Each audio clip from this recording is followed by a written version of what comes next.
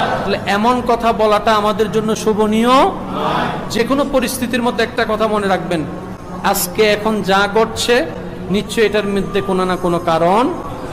আর আল্লাহ কখনো বান্দার ক্ষতি করে না। আল্লাহ যখন যাই করে, বান্দার ভালোর জন্যই করে। বুকের মধ্যে হাত রেখে একটা কথা বলেন। আল্লাহ যদি সত্যিকার আমাদের ক্ষতি চাইতো, একজন বান্দার অস্তিত্ব থাকতো আমাদের।